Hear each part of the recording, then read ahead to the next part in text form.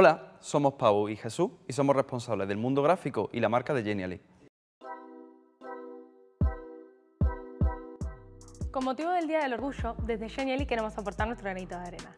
Y es por eso que como marca creemos que está en nuestra mano dar visibilidad y apostar por la inclusividad en todos sus aspectos, tanto verbal, textual como visual. Básicamente nuestra mente no puede conocer, no puede comprender aquello a lo que no le pone nombre, aquello que no está acostumbrada a ver. Precisamente por eso, con nuestra identidad queremos romper esas estructuras, intentar de alguna manera y como podamos dar visibilidad a la diversidad. Para mí, la inclusividad es reconocer que todas las personas tienen los mismos valores y los mismos derechos, simplemente por el hecho de ser seres humanos. El mundo gráfico de Genially consiste en un montón de personajes que se crearon ya hace bastantes años.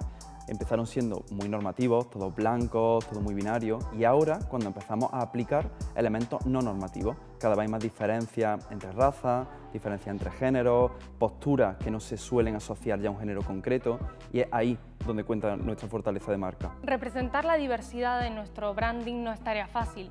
Para ponernos en situación, nuestros personajes em, son muy sencillos. Básicamente contamos solo con el pelo, la ropa, algunos gestos y algún que otro complemento. Es muy difícil poder representar a través de esos elementos la diversidad eh, social y cultural a la que, en la que nos encontramos. Cuando ilustramos, dotamos a cada ali, a cada personaje, de, una personalidad.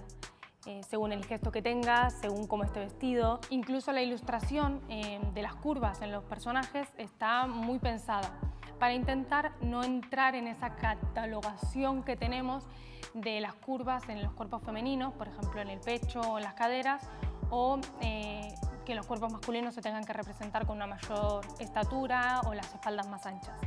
Por ejemplo, podemos encontrarnos un ali que tenga el pelo largo, que tenga barba y tenga pendientes, o otro ali que tenga el pelo corto y tenga curvas.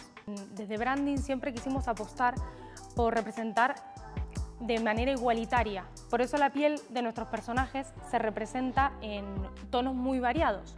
Intentamos no solo utilizar el negro, el blanco, el amarillo, sino también que usamos rosas, azules y tonos degradados. ¿Qué pretendemos? que tengan su mismo espacio. Buscar la manera de que el cerebro no asocie directamente ciertas características, fisionomías, comportamientos a un género es casi imposible hoy en día. La mente tiende a clasificar todo lo que ve para comprenderlo lo mejor posible. Desde Genially estamos intentando romper esa estructura para dar lugar a nuevas personificaciones, a nuevas variedades, a nuevas representaciones del ser humano. Al final, ¿dónde queremos llegar con esto?